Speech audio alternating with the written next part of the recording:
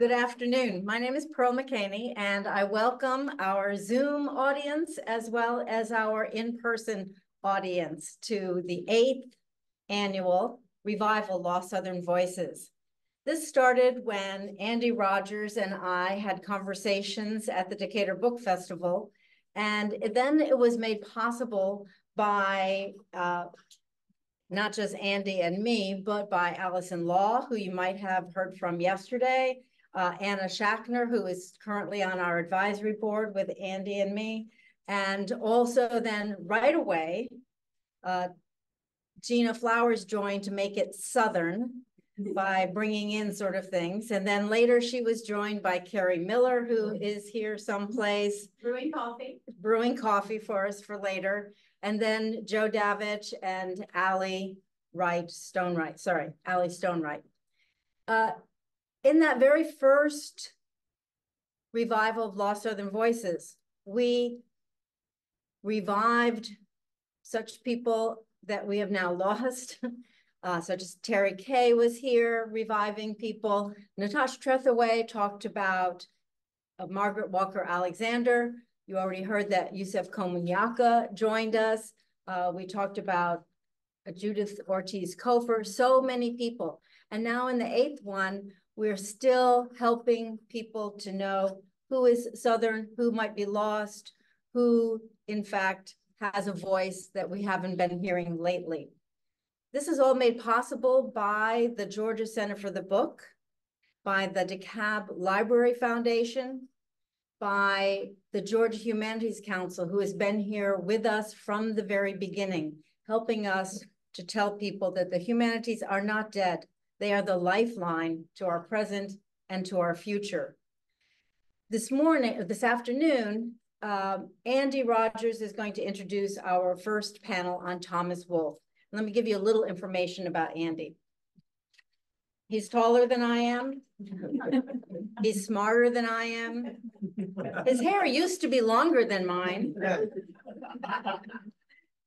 He is now the Associate Chair of English, Arts, and Humanities at the Decatur campus of GSU, GSU Perimeter, and he's co-coordinator for the Georgia State University Prison Education Project, which you may have heard needs your support and your funding to continue.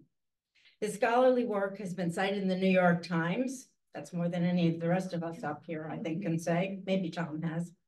Uh, his best-selling book by da the best-selling book by David Shields and Shane Salerno called Salinger. And he's currently working on a film script with the author, David Shields, who was at our previous Revival Lost Southern Voices. Andy got his BA from the University of Texas and his PhD from the University of Alabama. And as I said before, he is one of the co-founders, wouldn't exist without Andy. So Andy, take it away. All right, thank you very much. And if we have any microphone issues, please let us know, um, especially from the virtual audience. Don't be shy about dropping that into the chat. Uh, so our panel here just informed me something I think is really interesting. This presentation came out of uh, Retirees Association Book Club. Um, they read Thomas Wolfe, uh, Look Homeward Angel, and then did a, got really interested and did a deep dive, did some traveling, um, really got passionate about his work and realized, oh, we should carry this all over into the Lost Southern Voices presentation. So for anyone watching who has a book club, I can tell you how that discussion went and, and, why it's a good book to think about including. Uh, so our first panelist is going to be Dr. Rosemary Cox. Uh, she's a professor emerita of English from Georgia State University's Perimeter College. At Perimeter College, she taught English composition, literature, and creative writing. She holds a BA and MA degrees from Georgia State University and a PhD in English from Emory University, uh, where she specialized in American literature, particularly antebellum Southern humor. Her academic interests continue to focus on American and British literature of the 19th century, past and present Southern writers, and on writing poetry and memoir. And just to give a brief uh, overview, so Rosemary present on a short story. This is one of the ways Thomas Wolfe has been rediscovered because uh, his novels are so long. And there was just a long lapse in publishing his short fiction. And when it finally started being published, colleges and universities started assigning it because they're like, oh, there's an assignment my students will actually read. Um, so it's a great place to start and to, uh, because a lot of people aren't aware that he was also a great short fiction writer.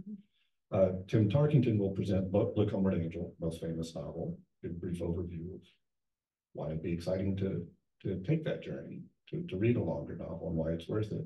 And Ted Wadley's going to talk about Thomas Wolfe's reputation, why he was so famous in his lifetime, faded out for a significant period of time, and then has worked his way back into the literary canon and where he thinks audiences today would sort of pick him up.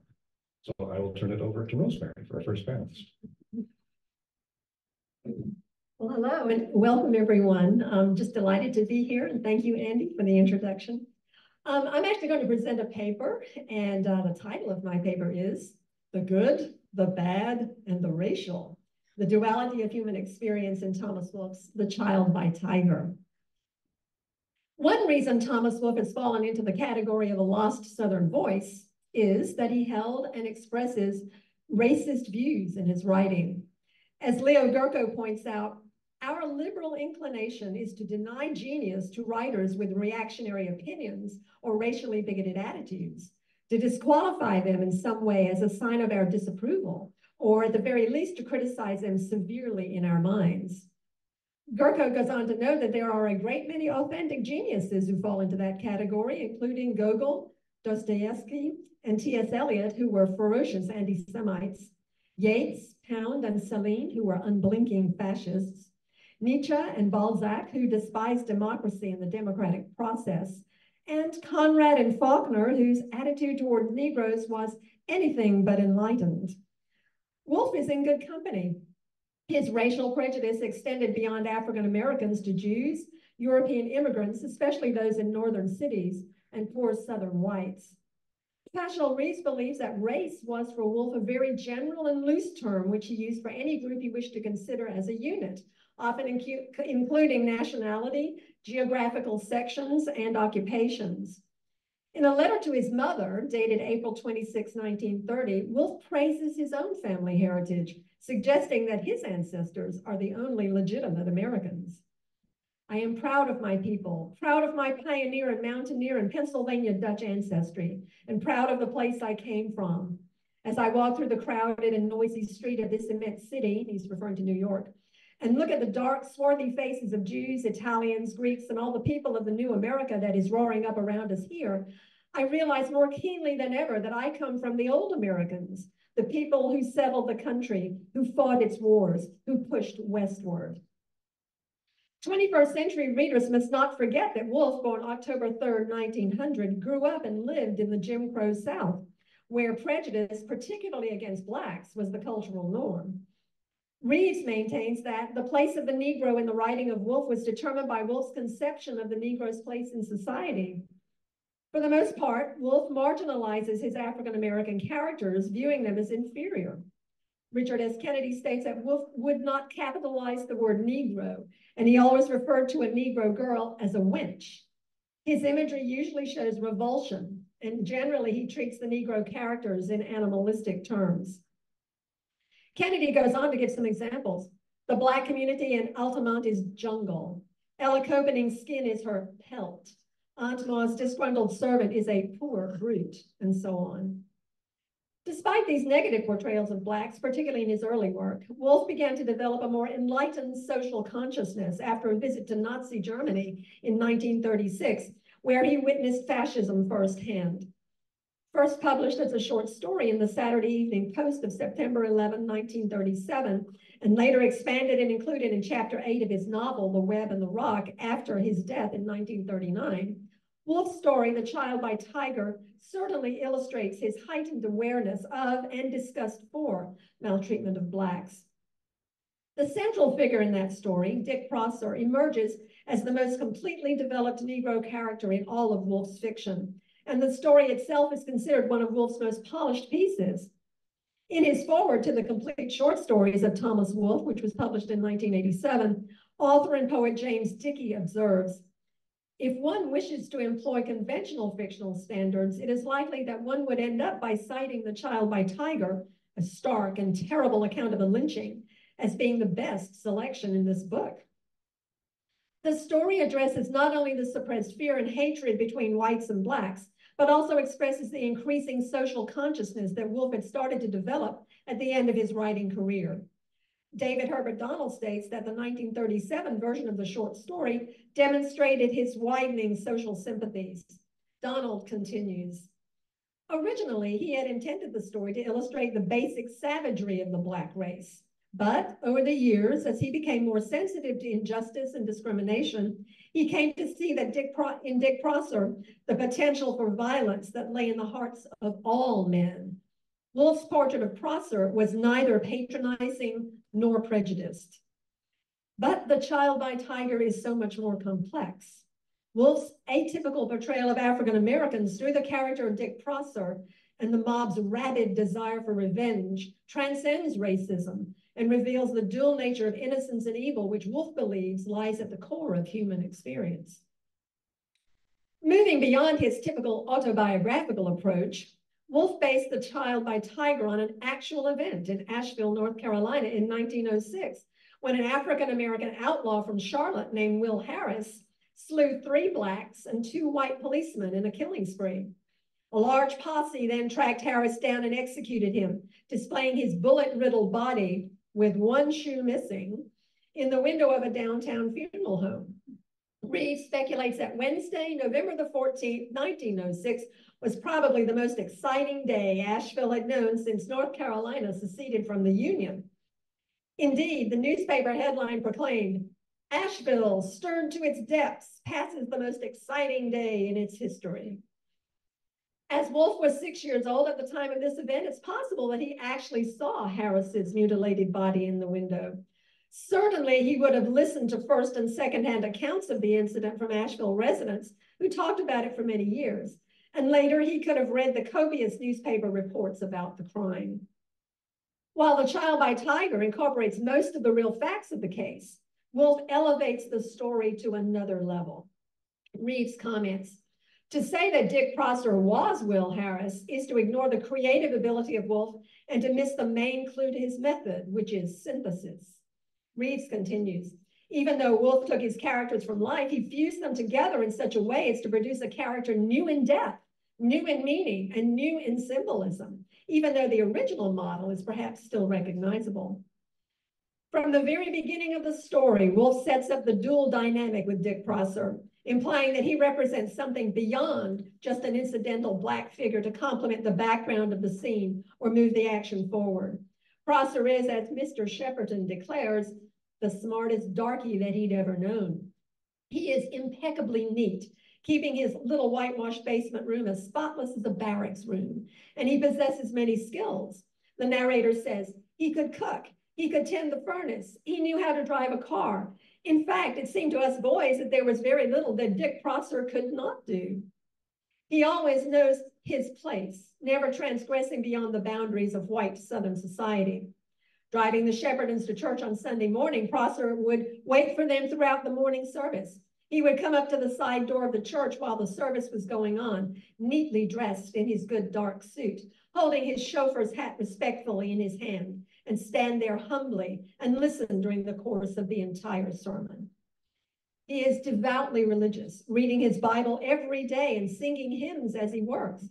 And most notably, he has become a true father figure to the boys, Randy Shepperton, Nebraska Crane, Augustus Potterham, and the narrator, Paul Spangler, teaching them the correct way to throw a football and make passes, how to build a fire and lift weights, how to box like a champion, and from his expertise acquired from serving in the army, how to shoot a gun. The narrator remembers. He gave a modest demonstration of his prowess one afternoon with Randy's 22 that left us gasping. Prosser's demeanor and relationships with the whites, particularly with the boys, is genuine, demonstrating his incredible capacity for good. But Wolfe never describes Prosser's admirable qualities without prefacing his next observations with the question, and yet, Prosser's hand is like that of a fearsome beast, a tiger, his great black paw. And the narrator consistently links Prosser to that great feline. He is cunning and crafty as a cat, and he was there upon you sometimes like a cat. Prosser's voice sometimes intimates that there is something mysterious and dangerous lurking beneath his calm demeanor, as the narrator describes. There would be times when he would almost moan when he talked to us, a kind of hymnal chant that came from some deep and fathomless intoxication of the spirit, something in it so dark and strange and full of a feeling that we could not fathom it. Even more significant is the way Prosser reacts to people and things that cross him, with the whites of his eyes turning red, suggesting that he harbors pent-up anger and aggression.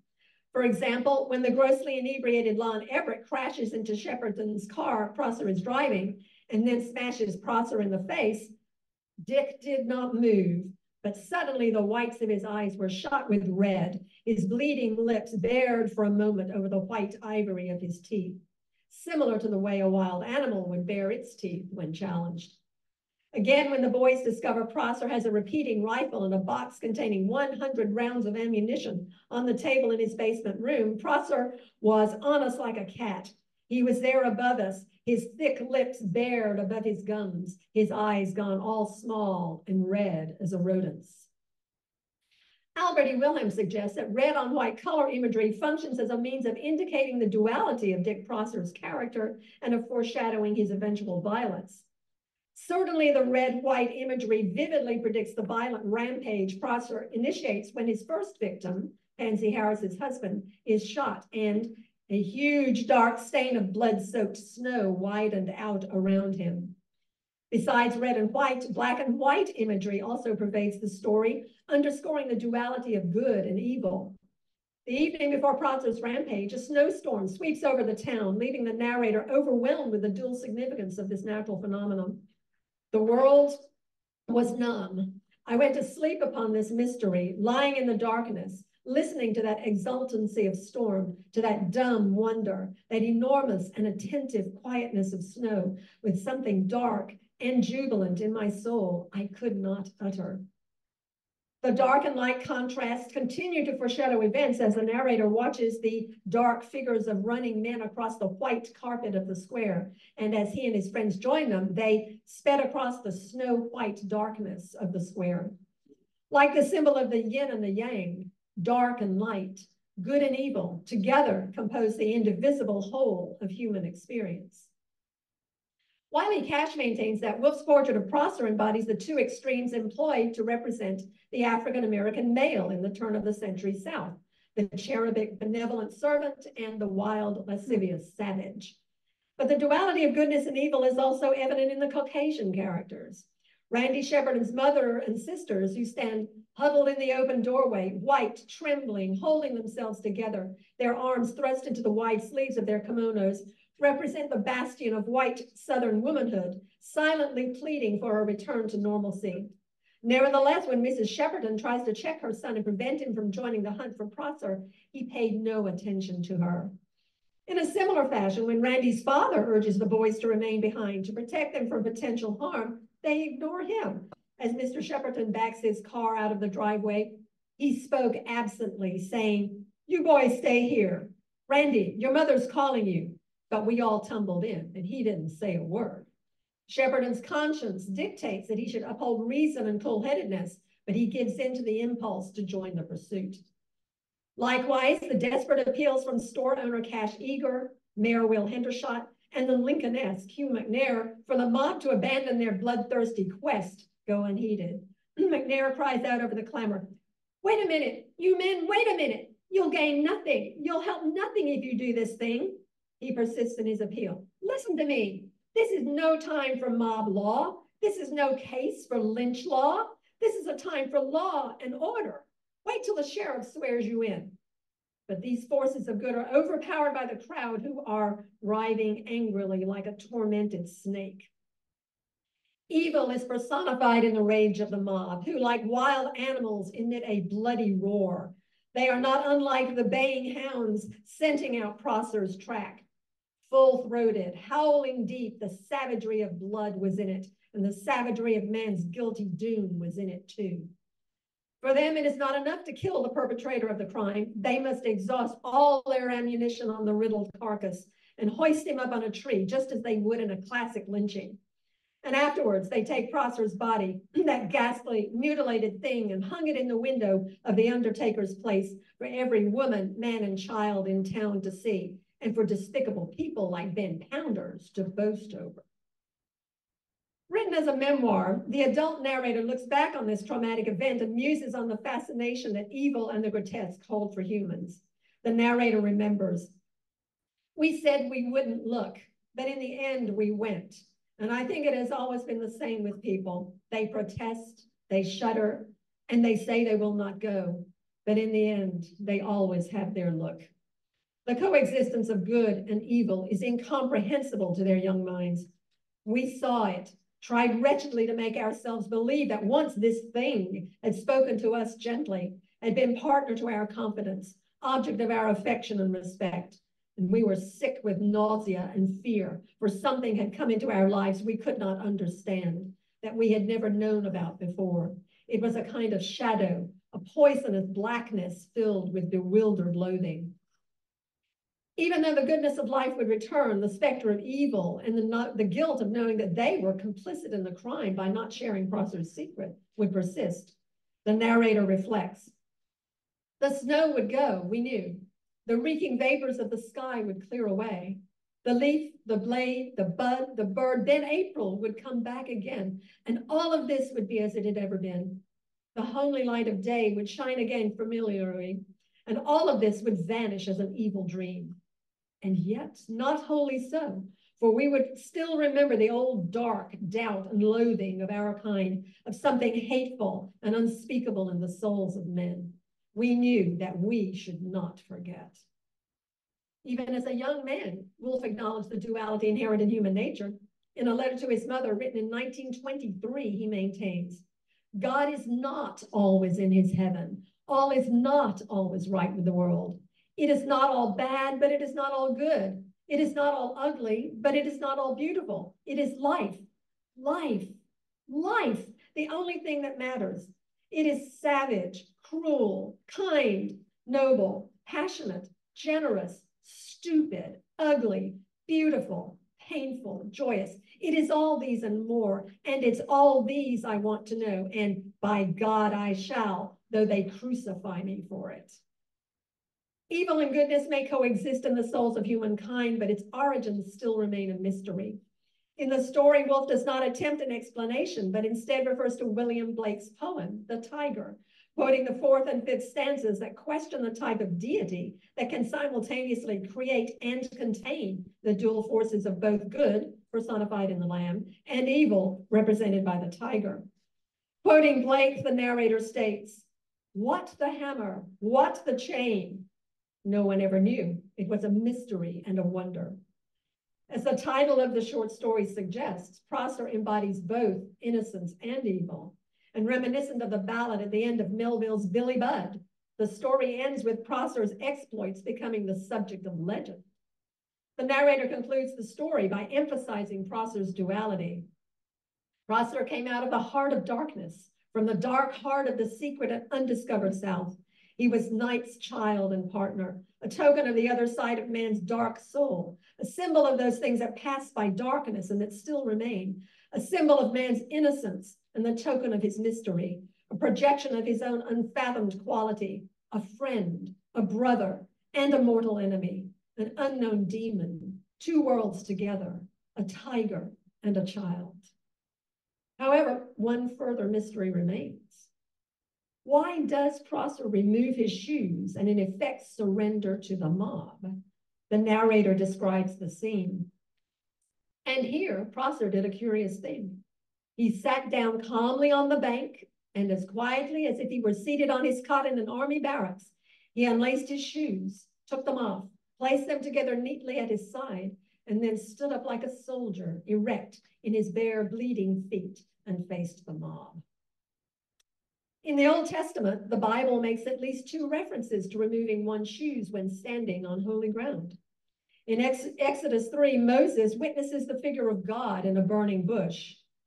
When the Lord saw that he had turned aside to see, God called to him out of the bush, Moses, Moses. And he said, Here I am. Then he said, Do not come near. Take your sandals off your feet, for the place on which you are standing is holy ground. Again in Joshua 5:15, Joshua is commanded to remove his shoes. And the captain of the Lord's host said unto Joshua, Loose thy shoe from off thy foot, for the place whereon thou standest is holy. And Joshua did so. Before he goes on his rampage, Prosser reads and leaves his Bible open to the 23rd Psalm. Yea, though I walk through the valley of the shadow of death, I will fear no evil, for thou art with me. As Prosser's, as Prosser journeys to his inevitable end, the place where he will meet his God is sacred, and he removes his shoes as a sign of reverence, humility, and respect. And like Moses, he prepares himself to cast off his old life and move on to the next. Prosser, like the reader, cannot explain the power or understand the complexity of God, but he can revere such divinity and recognize the existence of the innocent and wickedness in all humankind.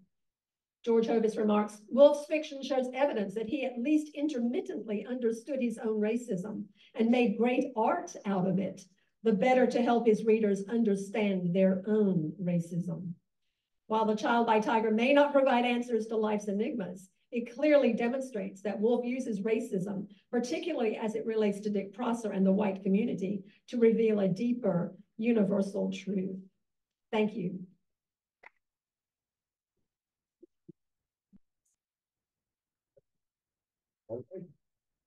Microphone, okay. Thank you, Rosemary. So next, Tim Tarkington will discuss uh, Look Homeward Angel, most famous novel. So Tim holds a BA in journalism from the University of North Carolina at Chapel Hill and an MFA in English from the University of North Carolina at Greensboro. Uh, he was an associate professor with us at Perimeter College until he retired in 2017. All right, Tim, thank you. Thank you. Is this okay? Everybody can hear me? Okay, great. Um, Thomas Wolfe's Look Homeward Angel is written in the style of what is known as a Bildungsroman, and more specifically a Künstlerroman, the artistic development of a writer, musician, or virtual artist. Wolfe's portrayal of lostness in his autobiographical novel has influenced many contemporary Southern writers. Robert Morgan, when he first read the novel after taking it from the Henderson County, North Carolina bookmobile in 1960, says, I felt this was a book I'd always been looking for. It was a novel about me. And it was more than a novel. It was a revelation about how ambitious and thrilled and scared I was and how lost I felt. Imagine my exhilaration when I discovered Thomas Wolfe had been born October the 3rd, 1900, the same day on which I was born, 44 years earlier, in nearby Henderson. Uh. William Gay, who read Wolfe as a seventh grader, seventh grader, amazing, uh, raised the curtain of the world, he said. It articulated some compulsion to write I had no words for. Wolfe made it possible to believe that the stuff of life, with all its awe and mystery and magic, could, by some strange alchemy, be transmuted to the page. The book was insistent. It wouldn't leave me alone. In his search for the stone, the leaf, the unfound door, sang in the blood like an hallucinatory drug. He may have not have located that unfound door, but he came closer than anyone else. And this may be the key to an understanding of Wolfe's quest through art to find a way to revelation and salvation. In his preface to the reader, he states it was written in innocence and nakedness of spirit, and that his main concern was to give fullness, life, and intensity, the sum of all the moments of our lives. Look Homeward Angel is Wolfe's thinly disguised autobiographical attempt to answer the question, what would it be like to be the sensitive, gifted child born to middle-class parents uh, in, the, in, in middle-aged parents in the mountains of North Carolina? Oliver Gant, the stonecutter father, born in Pennsylvania, has arrived in Altamont, North Carolina, a widower from Sydney, the state capital, to set up a shop in the town square. One day, a younger woman, Eliza Pentland, walks into his shop to sell him books. In conversation, she tells him about what she would do if the land, she could buy some land. She has come out of the Reconstruction South, hungry for the profits she sees in owning the land. They wed, and Gant builds them a house. The picture of his soul, the wed, they wed, and Gant builds them a house, the picture of his soul, the garment of his will. But for Eliza, was a piece of property. This, in short, distinguishes the environment to which each of their children come. Of the nine children uh, born in the first 11 years of marriage, only six survived to adulthood. Eugene, their youngest, was born in 1900 when Oliver is 50 and Eliza is 42. He is Wolfe's speaker uh, in, the, in the story, his protagonist, the surrogate wanderer genius. The novel is his story of the buried life. Here we find the major themes of Eugene's quest for knowledge, his search for a ghost language, which, when found within this world, will open the door to heaven and salvation and resurrect his buried life. And so he calls for the muse to sing in him what his life's intention is to be. A stone, a leaf, an unfound door. Of a stone, a leaf, a door. And of all the forgotten faces, naked and alone, we come into exile. In her dark womb, we did not know our mother's face. From the prison of her flesh came, we come into the unspeakable and incommunicable prison of this earth. Which of us has known his brother?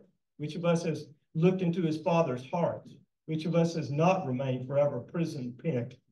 Which of us is not forever a stranger and alone? A waste of loss in the hot mazes, lost among bright stars on the most weary, unbright cinder, lost. Remembering speechlessly, we seek the great forgotten language, the lost lane in into heaven, a stone, a leaf, an unfound door. Where? When? Oh, lost and by the wind grieved ghosts come back again. So, Look Homeward Angel becomes Wolf's Roman, his artist novel, a class of Bildungsroman or apprenticeship novel which deals with the youth and development of an individual who becomes or is in the threshold of becoming a poet writer. The main model for Wolfe uh, was James Joyce's portrait of the artist as a young man, where Wolfe has noted in his story of a novel, his book, he talked about the writing of, of Look Homeward Angel. He said, the effort to apprehend and make live again a moment in lost time is so tremendous that Joyce really did succeed, at least in places, in penetrating reality. It is this moment of lost time, this penetration of reality, the reaching into the transcendence of the all-flowing images of existence that fired Wolfe's artistic passion. He says his autobiographical hero, Eugene Gant, on a lifelong quest of self-discovery, armed with the symbols of a stone, a leaf, an unfound door, to seek the great forgotten language, the lost lane in into heaven. Eugene thus comes into this life a chosen with a chosen incandescence, a hero with a secret heart, a stranger in a strange land, an exile even in his own home. He has come into the unspeakable and incommunicable prison of the earth, a glowing light set upon this most weary, unbright star. Eliza, seeing, seeing a premonition of his heroic struggle, weeps for him. The hour after his birth, he looked in his dark, she looked into his dark eyes and had seen something, loneliness. She knew a stranger had come to life, fed by the most, I mean, the lost communications of eternity, his own ghost, haunter of his own house, lonely to himself and the world, oh, lost. So Eugene, from birth armed with innate genius, set upon a quest to recapture the lost time of eternity from which he sprang, he realizes that he had been sent from one mystery into another. The ghost of memory walked through his mind, and for a moment, he felt that he had almost recovered what he had lost. But in order to recapture, he must escape. He has been born into a turbulent yet close family and listens intently to the speech around him. For even before he has symbols for words, he realizes that his first escape must come through language. Later in the novel, Eugene, in a fit of anger and resentment, tells his mother, the first move I ever made after the cradle was to crawl for the door. And every move I have made since has been an effort to escape.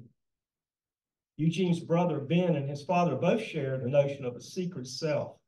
And all three are identified with the symbolic a stone, a leaf, and unfound door. Will symbols of the quest of self-exploration. In their own ways, they search for that door which would open, which when opened, will penetrate reality for them. Within themselves, they carried the evidence of their tragic fault. They walked alone in the darkness. Death and the dark angels hovered. By the time Ben significantly enters Eugene's spiritually unfolding life, he has dropped out of school, gone to work at the newspaper, and is living in sufficient bitter pride upon his earnings. He comes and goes from the house like a phantom. He spends hours absorbed with G Eugene. They develop a secret communication to which the life of the family had neither access nor understanding.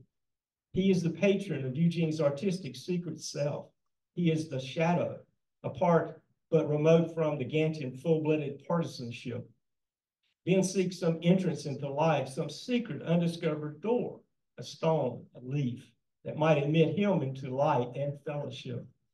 As Ben comes to represent the dark side of a frustrated spiritual quest, so Oliver, Oliver Gant, the father, comes to represent the frustration of the artistic quest.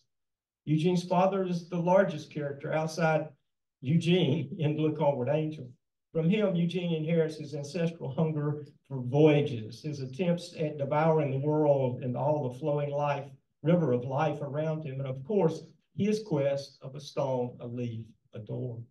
He sees his father as no common craftsman, but a master. Gant is the roaring fire of the novel with his outrageous drunken forays into physical and rhetorical abuse.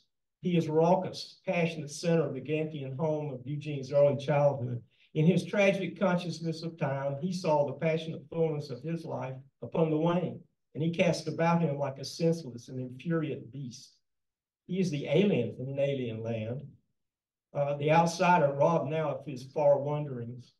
But as a young man of 15 walking down a Baltimore street, he had seen an angel carved in stone in a shop window and felt he wanted more than anything in the world to carve delicately with a chisel. He wanted to carve an angel's head.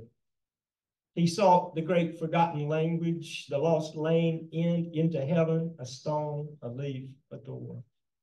But he can never carve the angel's head correctly.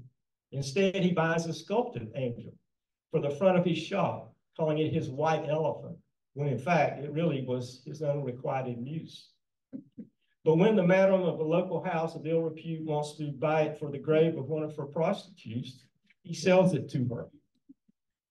Once the transaction is completed, Gant stands on the porch of his shop where the angel had stood, and all about him in frozen, was frozen in a picture. Life was held like an arrested gesture, a photographic abeyance, and Gant felt himself alone, moved deathward in a world of seemings. He is forever frustrated in his quest, and when he fails to achieve this artistic ideal, he escapes into savage drunkenness.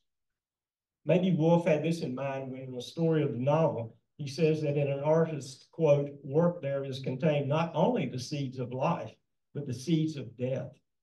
And that the power of creation which sustains us will also destroy us, like the leprosy if we let it rot stillborn in our vitals. This is the beginning of Gant's death. He realizes that he has given up his quest to create the art of the angel's smile and so must die. This scene is paralleled in the last chapter when Eugene stands in the same location and is visited by Ben's shade I don't guess it's giving away too much. Ben passes away. It's very tragic in, in the book. His vision marks his final break with Altamont, the home of his youth. He will avoid entombment within the town where his father suffered, the emotional suffocation that has been Ben's lot. For unlike them, he will be saved by his genius, by the miracle of his art. When the end comes for Ben, Eugene realizes the nightmare of destiny that he is a part of the family of man where all their lust, their weakness, their sensuality, their fanaticisms, their strength, their rich taint were rooted in the marrow of his bones as well. And there is no escape. After all of the gut wrenching torment of nightmare and death, after the soul searching of love and fear, Eugene can believe that there is something over us all. Wolfe called it man's search to find a father, the image of a, of, of a strength and wisdom external to his need and superior to his hunger, to which the belief and power of his own life could be united.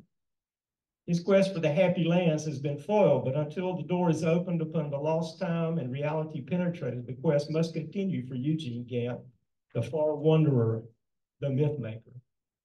He must turn his search inward, for he says, No leaf hangs for me in the forest. I shall find no door in my city, but in the city of myself, upon the continent of my soul, and I shall find the forgotten, language, the lost world, a door where I may enter. He now finds his escape into life, away from his childhood Altamont. He is still upon his quest, seeking that ghost of memory in his consciousness where the mystery of reality might be recaptured and produced as art. Oh, lost by the wind grieved ghost, come back again.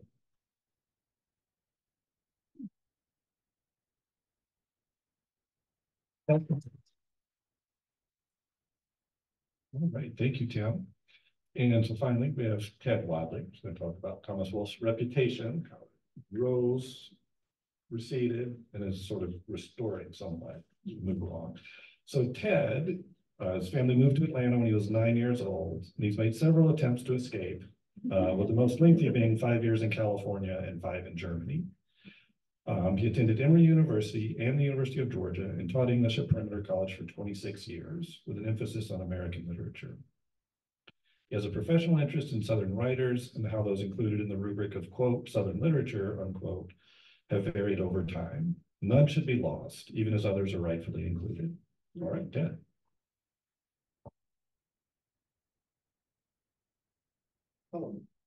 Hello, yes. Uh, Well, I have mine structured as more of a conversation. And uh, so please join with me when you have anything to say. Um, uh, Wolfe's, uh, the response in nineteen twenty-nine when Look Homeward Angel was published was uh, spectacular. Uh, It was, uh, it was a bestseller. It got good critical reviews. It was featured in the popular press. And uh, he was envied by uh, other writers at the time. Uh, This was the age of uh, Faulkner and Hemingway and uh, the, the other writers, his rivals for attention in some way, all had good things to say about Wolfe. Uh, the length of the novel, we've been talking about that, um, was appealing to readers in an age before television. People wanted their money's worth. When uh, they bought a book, they wanted it to last. Uh, a lot of the uh, success, I think, of Homeward Angel had to do with, with its attention to us uh, growing up in a small town.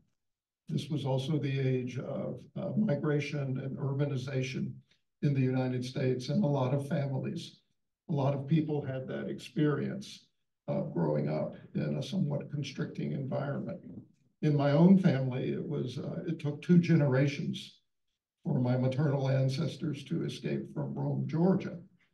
And a lot of what I heard my mother have to say about living in Rome uh, mirrors some of the things uh, Wolfe has to say about the people there. Uh, my mother never published her opinion of some of those people, so um, she was able to return to Rome. Um, and then, uh, well, three of his four novels were bestsellers all the way through uh, You Can't Go Home Again. Uh, that's sort of a catchphrase for uh, a lot of his popularity. And uh, one of the one of the characteristics of uh, American literature, the fleeing male, uh, the need to escape. Finally, readers had a lot of sympathy and affection for Eugene. And this continued through uh, the Broadway play that was produced in the 50s, but that came later. Am I just going to do this like? Oh, no. Um, okay, uh, the critics at the time in uh, the early 30s, uh, Wolfe was compared to uh, Dostoevsky, who's been mentioned. Uh, like Dostoevsky, uh, Wolfe produces a fire hose of writing. If you've heard that uh, metaphor for somebody who just talks and talks and talks, and it comes out like a fire hose, and you can't uh, break that. A diatribe, and it's fatalistic. Dostoevsky can be a very depressing writer to read. And a lot of Wolfe's fiction involves constant complaint that things are lost, that they can't be found, that there is no escape. He was compared with uh, Charles Dickens. Uh, that has to do with the length of his novels, with the vividness of his characters, and with the pathos with which he presents a lot of um, the situations. He was he has always been compared since beginning with Walt Whitman. Once again, because of the characters and the sort of portraits of Americans. Um, let's just say that Whitman is a lot more positive and optimistic about uh, the characters, the Americans that he presents than Wolfe is.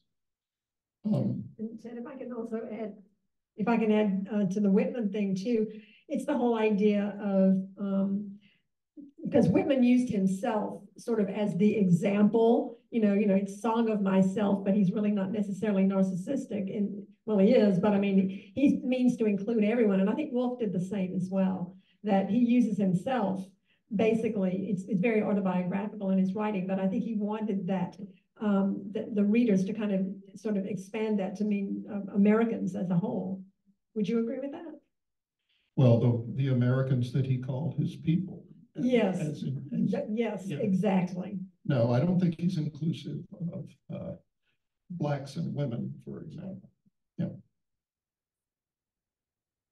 Um, he was, uh, rated very highly and praised several times by William Faulkner. Uh, he consorted with uh, Hemingway and Fitzgerald when he went to Europe in the thirties. And, uh, what, also what made him popular, uh, with his fellow writers was the awe they had at his sales, as his, at his success in making his way as a writer. question. Yeah, so one of the things that, um, there's an old compliment, I don't even know where it originated. The first time I saw it was Shelby Foote complimenting Cormac McCarthy. And he said the real hero of the novel is the English language. Um, which I think a lot of people would say about Thomas Wolfe. And how, I mean, just from Tim's Rosemary's excerpts, he writes very elevated prose. It, it really impressed a lot of other writers. I'll see what y'all think of, it said a lot about the reading public that he was so popular. Because people don't write like that anymore. Uh, certainly, certainly not in bestsellers.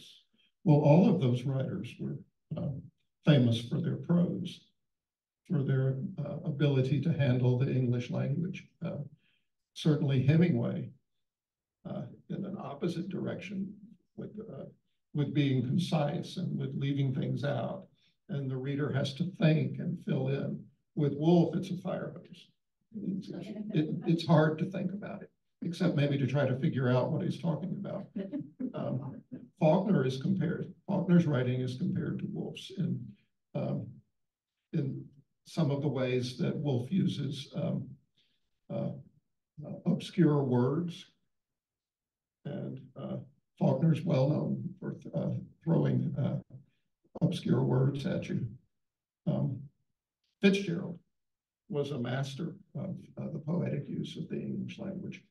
And my favorite quote along those lines was, uh, what Nabokov had, to- Nabokov had to say about Lolita, that it was his love affair with the English language.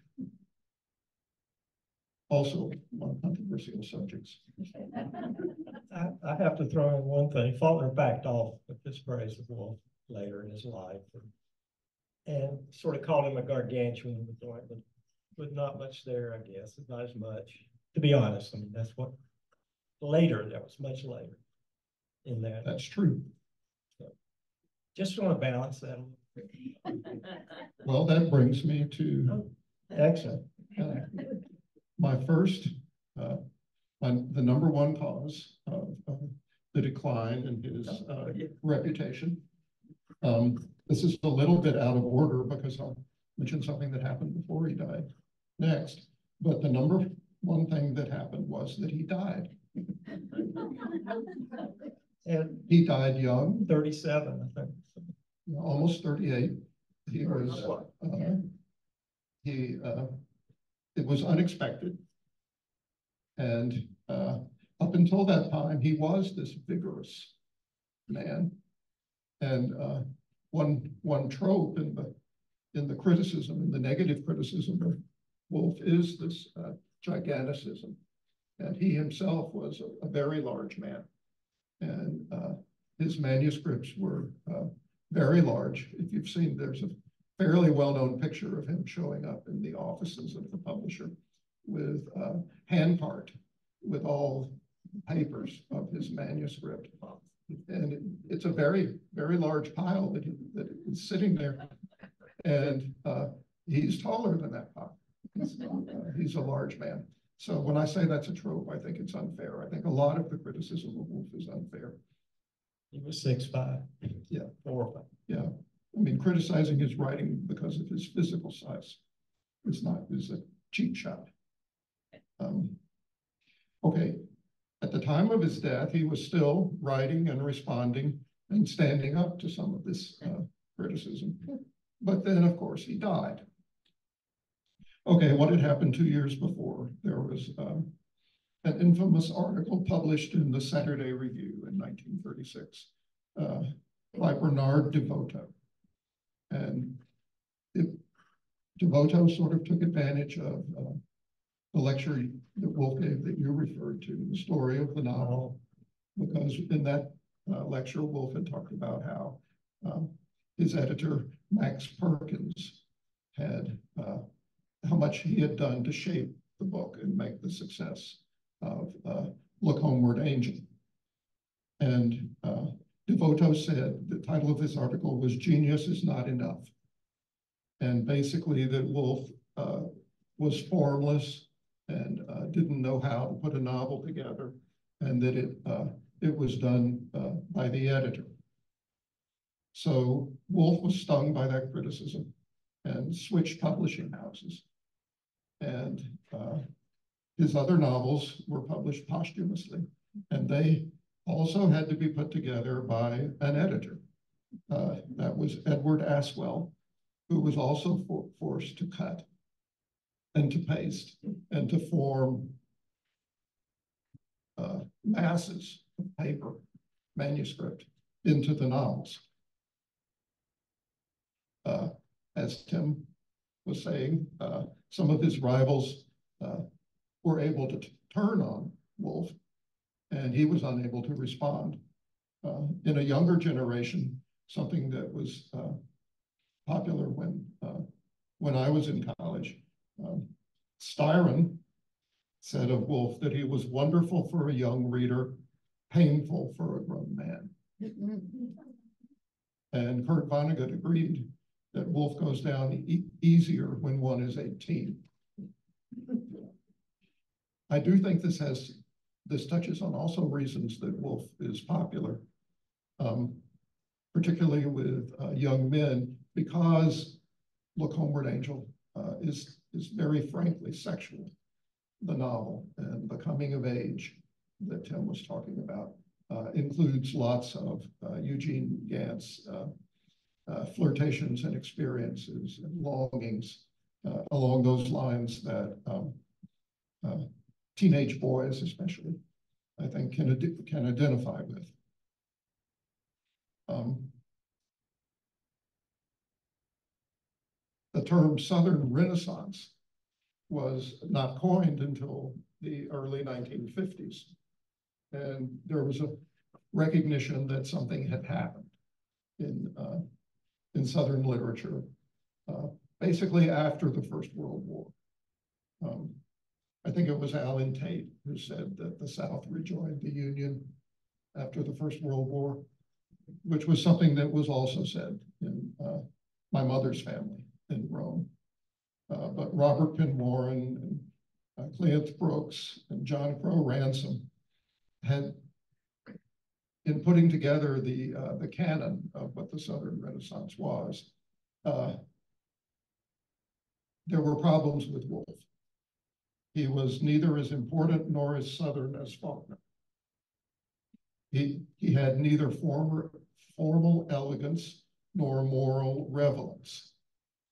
That second term is important, um, especially for people like Tate and Warren, that there, that there was a, a moral aspect uh, to literature, that it was, uh, it was supposed to bring out and reinforce and teach uh, lessons. whereas Wolfe was boorish and egotistical. And he was also defensive when some of these things were pointed out. He was defensive about the DeVoto article and uh, he got rid of Perkins and changed the publishing house. Um, and paradoxically, the Gants could be seen as Snopes if you know the, the, uh, the people who come in and take over uh, the town in uh, some of Faulkner's novels, uh, uh, especially uh, the Hamlet, yeah, the town. Um, Dixieland, his mother's boarding house, uh, was certainly a demi-monde. She was in it for the money, and she did not have any qualms about taking women of loose morals uh, as uh, as tenants in the house. As part of uh, Eugene's sexual awakening took place in his mother's boarding house. Uh, Thomas Wolfe himself uh, was uh, always attracted to older women. And then finally, uh, there was the fact that uh, uh, Asheville, Altamont, was seen as part of Appalachia. And the prejudice against uh, uh, the Appalachians, that they were backwards, that they were inbred, that they were hillbillies, that they were somehow the other, does not apply uh, to Thomas Wolfe, but he's not from Oxford, Mississippi. Yeah, he's not from Tuscaloosa, Alabama, or even Milledgeville, Georgia. So, um, He was from Chapel Hill.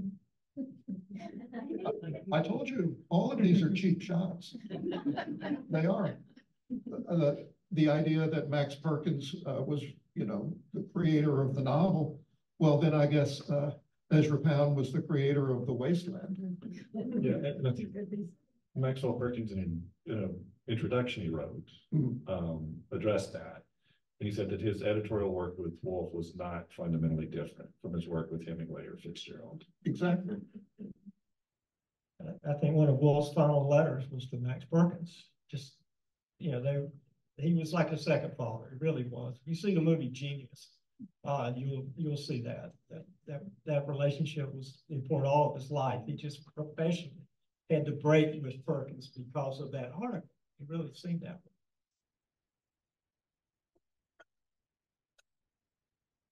Well, Wolfe was defensive about that. He was sensitive. Yeah, he was wounded. Right. He was gonna prove that he could do it without Perkins, but then he died. And so Aswell had to do what Perkins had done. That's where we get all of the novels. It's where we get the short stories. The short- some of the stories were published uh, in Wolfe's uh, lifetime, but then they end up as chapters in the novels. His, his stuff is episodic. I mean, there's no doubt. I mean, it, a, uh, I think Rubin, Louis Rubin called it, uh, his chronological law.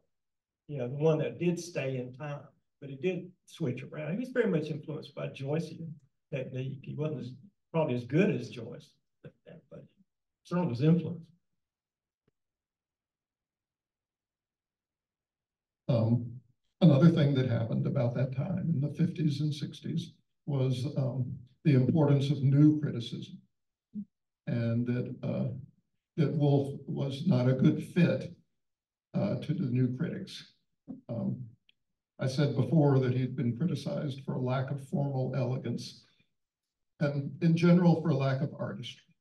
That, uh, his, uh, his writing was formless, it was bombastic, that he suffered from uh, logorrhea, which is a play on diarrhea, only it's words coming out of your mouth. that- yeah, that- That fire hose, as I called it before.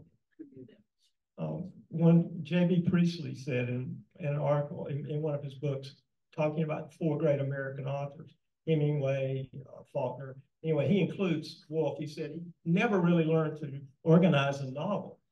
And he said he went on and on and on, but he went in and in and in, and that's his value. That's right. And in terms of the new critics and uh, Eliot and uh, some of the other people I was mentioning, uh, Wolfe's do not, Wolfe's novels do deal with uh, the modern, modernist uh, problems of alienation and uh, fatalism that we find in those other writers. Uh, There was also the feeling that uh, the Broadway play from like nineteen fifty-seven, uh, Look Homeward Angel, was, uh, was better than the book. Uh, once again, that's a product of editing. I mean, the Broadway play is only the end of the book. It's Ben's death is the big thing that happens in, in, and it's in Dixieland, the boarding house. And, and, the protagonist, escapes to Chapel Hill. So, um, Pulpit Hill. Yeah. Pulpit. uh, I would like to see that. I think, Andy, we should revive that. play. That would be a good revival to, uh, uh, Anthony Perkins played, uh, uh, Eugene Gant, a young An- Anthony Perkins, and, oh, and the other, the actresses, the one, people who played the mother and the girlfriend and so forth were all very well known at the time. Uh, fantastic reviews, long run. Um, it needs to be revived. Wolfe, of course, started as a dramatist in Chapel Hill. and He went to a workshop at Harvard to write plays and got his master's there. So That was like the first attempt at his.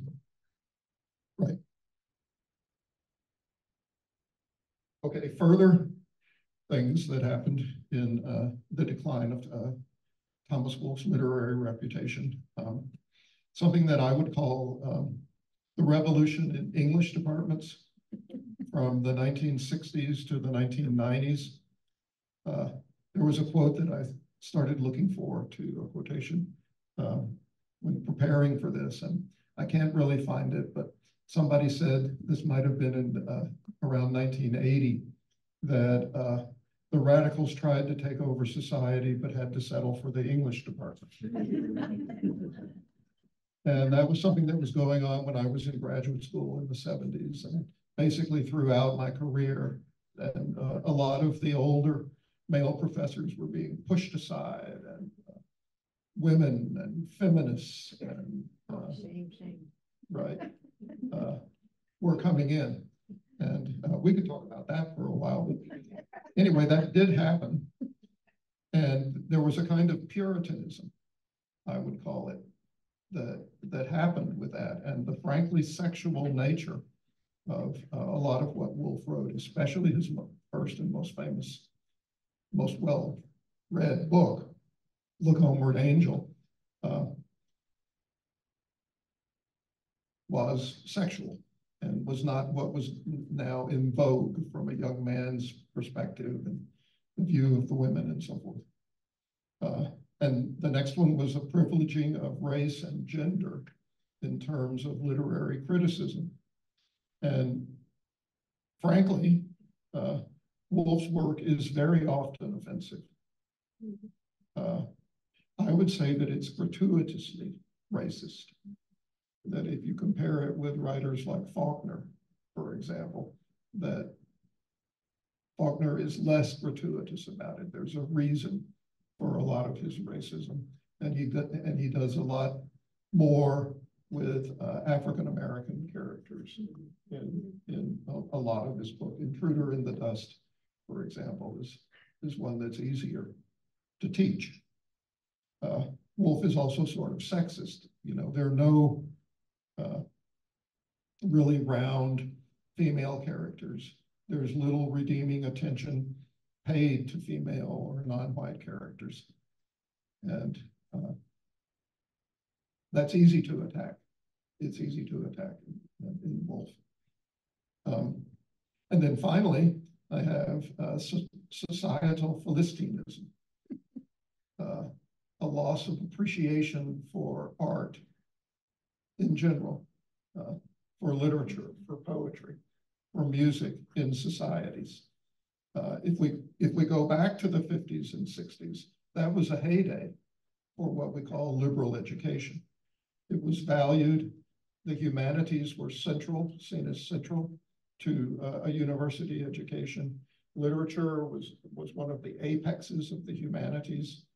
Uh, people were proud in the United States of American literature because we did have the Southern Renaissance. We did have uh, the Harlem Renaissance. We, we did have these great writers that we've been talking about. And um, there was a lot of pride in that. College students, uh, up until about the mid 70s, uh, were more interested in culture and being well rounded and uh, developing a philosophy of life than in being well off. Since then, we've had increasing tuition, as we all know. Uh, there's been a decline in the values, I think, in American society, at least in terms of appreciation of art and music and literature. Uh, by the 2000s, by, by 20 years ago, uh, most students who went to college said they were doing it for money, for career, for the salary. And uh, if you look at colleges, uh, marketing materials, marketing materials today, trying to get, uh, it, it, it's all about how much more money you'll make if you, uh, if you choose uh, this college instead of that, and you choose this major instead of that. So we also have then the political attack on liberal arts, which just shows that people have no idea what liberty means. So that's the end of uh, the decline. So we, little time for, um, Do we appreciate? oh, one more point, then it'll. Oh, okay. No, I- no, I- I've still got the reevaluation. I know, we got, we'll we'll have to leave a little time for questions and answers. Oh, I don't know what time. it is. So we're two oh seven, we go to two fifty. Oh, okay. So one important point is that Wolfe includes one of the only Your mic is, that died. I think, I don't know. I think Oh. Um, One really important point from your, in the reevaluation is that Wolfe wrote one of the only and one of the great depictions of a pandemic. Um, which all of a sudden makes him a lot more relevant. Um, because he did write about the Spanish flu epidemic of nineteen eighteen. The pandemic of nineteen eighteen. Yeah. It started in Kansas. But that's what, that's how Ben died. Ben died in the pandemic in nineteen eighteen. You gave it away. But You gave it away. but- You, did- you gave, I did, okay. yeah. It, it does talk about that, the colleges were closing, that, I mean, people were dying from this, so, yeah, very much so. Right, do, Well, we've mentioned a lot of the other things I have. You could, you could tell from Tim's presentation that uh, people are attracted to Wolfe nowadays because of his passion, his romantic ideals, his epochal vision. Um, on, on the other hand, uh, questions about sexuality, uh, people's feelings of isolation and loneliness, um, I wrote, are making a comeback in uh, our society today. Um, and the short stories. um, The short stories uh, have the advantage of being shorter. They have the advantage of being well edited and well formed, a lot of them. Uh, you- we talked about I have a thing to tell you. I also recommend a story called The Company, which is a good example of proletarian literature about a a young working person coming of age by recognizing just what the, the forces and the abuses of uh, capitalism are. Okay. okay, thank you again.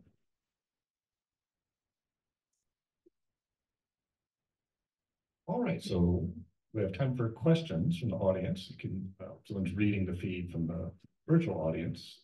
Uh, we can type it into the Q and A or the chat. We'll see them as well as in person. So anyone like to ask a question? Yes. Just a quick factual question from uh, Tim. Did you say there was a movie about Maxwell Perkins? Uh, yeah, can, Yeah. can you say Yes. your question into the microphone? Oh, uh, the question is, uh, I had mentioned that there was a movie made from, uh, Max Perkins, thing. It's called Genius. Yes, it is, and it's a, a British cast. They all speak good, good American English.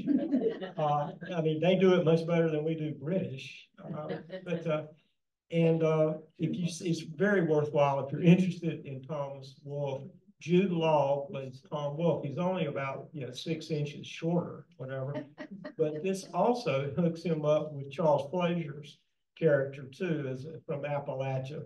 Uh, may, he's played two now, I guess, but he plays Wolfe, and Wolfe is all over the place in this movie. You should see it.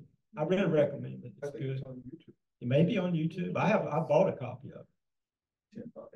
Yes, it's, uh, it, I think it's very well done, and, and it shows that, you know, it shows Max Perkins riding on the train back to his home after, from downtown Manhattan, and he's flipping through it, and he's freaking out, this is so good. Mm-hmm. And it's a wonderful depiction, I think, of that, to give you the idea that Wolfe was turned down by, what, a hundred Yeah. publishers or something at that time for that book, because it was huge, it was just humongous. But Perkins said he would work with it, and they did finally turn it into two novels, at least from that first initial stuff. Then the other two that came later were the stacks that Ted was telling you about. And Uh, the it name of the movie? Genius. And it's based on uh, the biography of Maxwell Perkins. It's, it's really, it's where Max Perkins's involvement with uh, Thomas Wolfe and Aline Bernstein, who was his uh, mistress, married uh, mistress, but that of the time, yeah. And uh, it, you know, played by an Australian actress. I recommend it if you want to, you know, do it. It's very good. Yes. Thank you all for speaking today. I've really enjoyed it. Uh, Thank you. You made the comment about short stories. Mhm. And, uh, I'm with the Thomas Wolfe Society. And at our conference at the end of May, the theme is the short stories of Thomas Wolfe. And we are inviting fifteen different higher institutions to attend free. And to try to get Thomas Wolfe back in the classroom because it's so difficult. Nobody's gonna read a six hundred page book as a student. Uh, and participate as they should. But if you enjoy the short stories and you go through the short stories, you'll have a foundation to appreciate his larger works. And I encourage all of you, if you're interested in short stories, to check out the Thomas Wolfe Memorial. Because we have been doing short stories for several years on Zoom.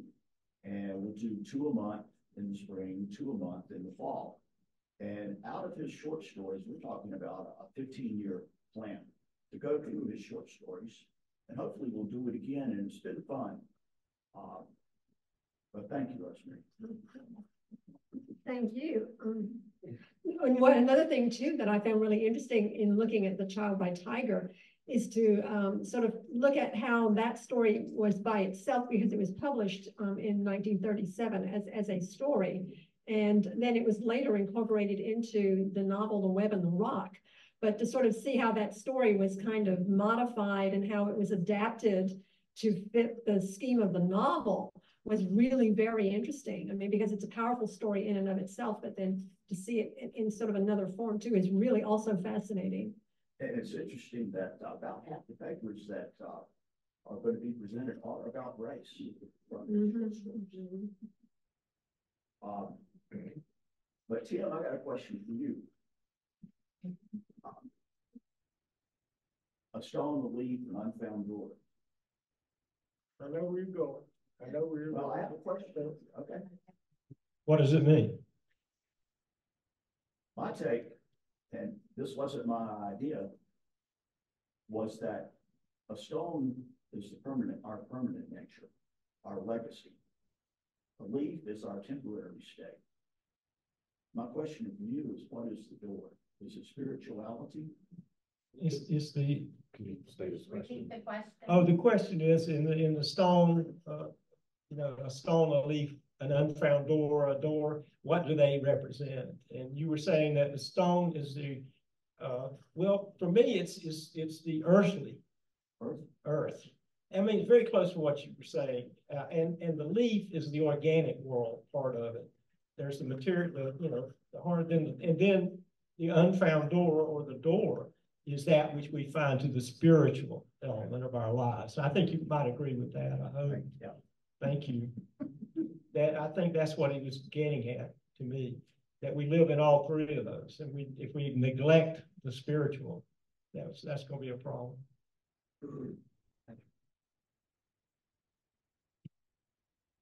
Yes. I had a, a quick question. So for the novice reader, what would be a good suggestion for a short story or two for them to begin with? Just great questions. to the panel, anyway. Yeah. Best place to start. First thing that you read from Thomas Wolfe. And hopefully not a six hundred page novel. That was the problem with Wolfe. A specific short story. Right, well, certainly I would recommend The Child by Tiger. I know it's anthologized frequently. Um, obviously the editors are going to agree with me that that's a good place to start. Um, again, it- that one can be very controversial.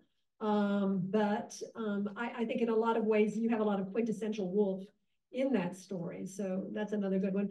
Although I'm sort of interested now in uh, Chickamauga, um, which is kind of the Civil War account, um, of, of Thomas Wolfe. So, um, you know, then there, his short stories have so many different dimensions. Um, it, it's hard to say that one is, is, is like, you know, like the one, but, but for students, probably The Child by Tiger. I have actually taught that many times in class and, um, and, and it, it works well with students.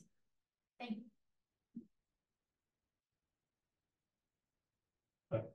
I would say just to read the prelude to Look Homeward Angel with the stone, the leaf, uh, and just let them see what that does to you. And because a lot of times, just coming back just to that, and eventually you'll say, okay, I gotta do it, I gotta read the rest of it. If you can write like that. Uh, In, Yeah. in the Norton Anthology of Southern Literature, which came out, I think, ninety-eight, the first time it came out, and mainly from Chapel Hill editors, I think, Trudier Harris, uh, and people. Uh, and it excerpts Ben, the chapter on Ben, which is so powerful. And that's about all you can, I mean, of five hundred word pages that are, is the most intense, and so you- they lead up to it in an introduction, and then they they have that story.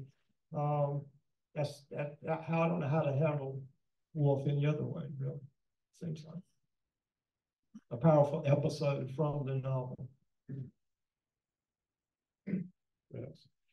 Well, we are out of time, unfortunately, but I wanted to say, yeah, real quickly, so- I wanted to say something real quickly. I want to remember when I, my first teacher that taught this novel to me. When I was a soph, a freshman, second semester in Chapel Hill, her name is Constance uh, Raymond. Uh, and my first paper, literally in college, was on this. My last paper was in Kenneth England's class at Georgia State. And I wanted to point that out we have the two Kenneth England professorships right here, owners in our, our us. Thank you so much for coming. Uh, but, uh, I, I think it will live on. I think, uh, everybody who takes Southern literature seriously will consider it. It does have all those bad, the negative words and language, just as Faulkner does. But please note that the word Negro, whatever is used in the book too. It's not all the way through. It's not, it's just something that we have, across. we have to bear, the Southern literature, it seems, that that's reality of what the language was at the time. And hopefully we've, it won't appear anymore, you know, just look at it that way. Thank you, thank you. all right, thank you to all our panelists and our audience.